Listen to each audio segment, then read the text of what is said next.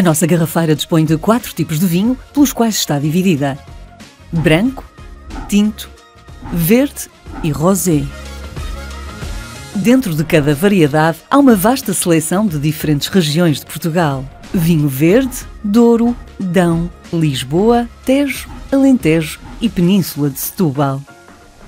Ao dar a volta à garrafa, no rótulo traseiro, existe informação sobre a região onde o vinho é produzido, que variedades de uva, também conhecidas como castas, foram usadas na sua produção, ou ainda quem é o seu produtor, como por exemplo a quinta da terceira geração.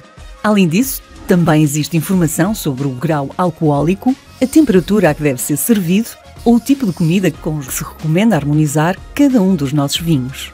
Tudo isto para ajudar o nosso chefe a escolher o melhor vinho, adequado a cada ocasião.